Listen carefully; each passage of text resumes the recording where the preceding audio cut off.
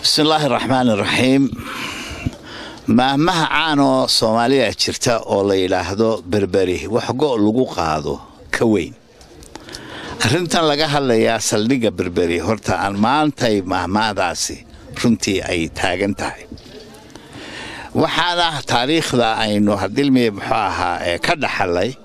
in mahmaahdaasi hadilmiye muxuu ahaa ay soo baxday wakhtigii ingiriisku uu doonayey inuu somalilan soo dego. Odayaashii hadilmiye muxuu ahaa deegaanka oo ingiriiska la hadlaya ayaa laga wariyey hadilmiye maahmahadaas maantana hadilmiye arrinta taagani waa arrin culus runtii. Berberi hadilmiye halkay ku taallaa hadilmiye waddankeennana waa uu hadilmiye muxuu ahaa xudin muhiima weeyaan mandaqadan aynu ku naalana hadilmiye muxuu ahaa waa xudin aad iyo aad u muhiim ah oo mustaqbalka hadilmiye tijaaradda iyo amniga mandaqadda hadilmiye aad u saamaysa xagga hadilmiye muxuu ahaa siyaasadda dawliga ee caalamka oo dhanka loo fiirsadana iyadoo caalamku maanta uud moodo inuu dhinacan hadilmiye geeska afrika iyo badweynta hindiye iyo hadilmiye koonfurta aasiya oo hadilmiye muxuu ahaa dhaqdhaqaaq xooga oo siyaasi iyo amniba uu ka jiro hadilmiye muxuu ahaa ahamiyad gaara ayay magaalada berberi ay ku leedahay. Saddexdaa qaybood ee hadilmiye siyaasadaba sidaas aawadeed arinta hadilmiye muxuu ahaa laynoo soo wariyey oo la leeyahay dowladda imaaraadka iyo dowladda somalilan ayaa hadilmiyey ku heshiiyey in dekadaas ama airbortka hadilmiye muxuu ahaa dekadaas lagu wareejiyo oo hadilmiye dowladda imaaraadka oo ay noqoto saldhig military oo ay imaaraadku leedahay waa arrin runtii taabanaysa qaybaha kala duwane siyaasadda oo dhan. Sidaas aawadeed arrin si sahaala ah uun lagu dhaqaaqi karaa waa ma ahe waa arrin u baahan dadweynahana in hadilmiye si wanaagsan loogu soo bandhigo oo waxa hadilmiye dowladda ay damacsan tahay ee heshiiska la sheegayaa qodobadiisa iyo wuxuu ka kooban yahay in hadilmiye dadweynaha la ogeysiiyo. Saxaafadda hadilmiye somalilan oo ay tahay ta u tabisa dadweynaha wixii hadilmiye muxuu ahaa kolba macluumaad ee muhima ee saameeya hadilmiye nolosha iyo siyaasadda hadilmiye soomaaliya dadweynaha u tabisa ay si wanaagsan hadilmiye muxuu ahaa ugu tabiso. Heshiisku wuxuu ka kooban yahay qodobadu ka kooban yahay iyo wuxuu saamaynayo waxa weeyaan in hadilmiye muxuu ahaa arrintu ma aha iyada oo la diidsan yahay cilaaqaad innaka iyo imaaraadka inaga dhexeeya. Cilaaqaad waynu u baahannahay waa muhiim weeyaan waddankeennu halku ku yaallo jasiiradda carabta iyo geeska afrika waa xudunta isku xidha dowladaha hadilmiye jasiiradda carabta khaasatan hadilmiye muxuaha dowladaha khaliijka lagu magacaabo waa dowlado aynu aad iyo aad isugu baahannahay aynu wax wada qabsanana loo baahan yahay sidaasoo kale dowladaha geeska afrika ee etoobiya ka mid tahay ee jabuuti ka mid tahay ee kenya ka mid tahay ee eritrea ka mid tahay ee dowladaha hadilmiye suudaan iyo mandaqada dowlado fara badan oo ka midana waa inaynu hadilmiye arrintaasi de way khusaysaa. Kolkaas arrintu gogol xaadh fara badan iyo sharaxaad fara badan ayay hadilmiye u baahan tahay. Soomaalida waxay ku mahmahdaa nin hadilmiye hagoog xumi inuu wax qarsanayaa la moodaa.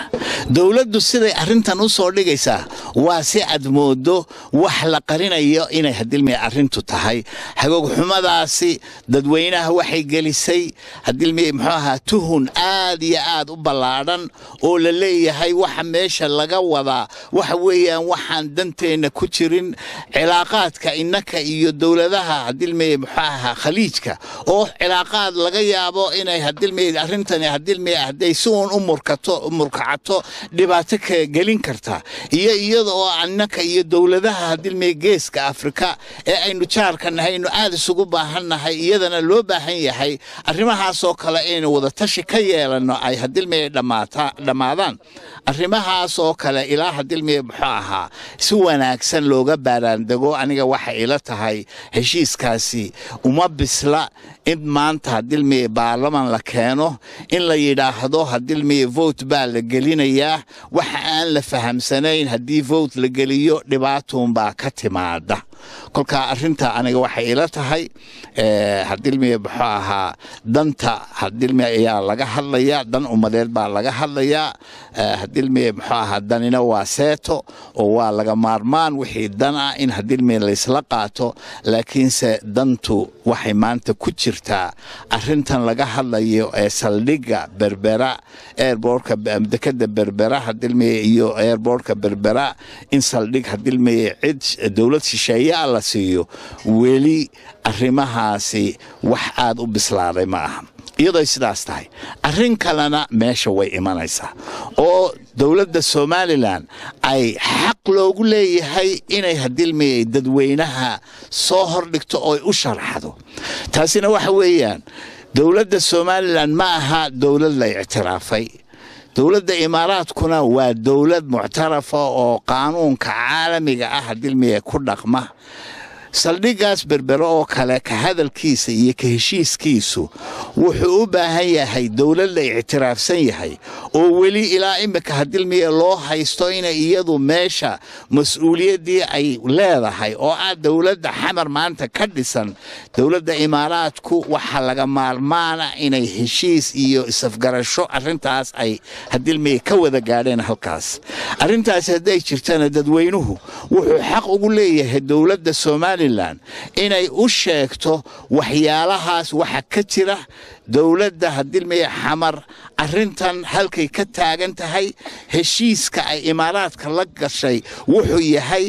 hadilmiye muxuu ahaa kolkaa arrimahaasoo aan weliba bislayn aan la ogeyn aniga waxay ila tahay dhibaato iyo hadilmiye khalkhal ayay dhinaca siyaasadda wadanka somalilan ay hadilmiye arrintani gelin kartaa sidaas aawadeed waa in laga fiirsadaa si degan oo dadku ay hadilmiye muxuu ahaa iyagoo degan ka dheragsan yihiin. Arrintani waxay tahay kolkay dhammaato. Ayuunbaa hadilmiye muxuu ahaa la geli karaa heshiis heshiiska laga hadlaya ee la leeyahay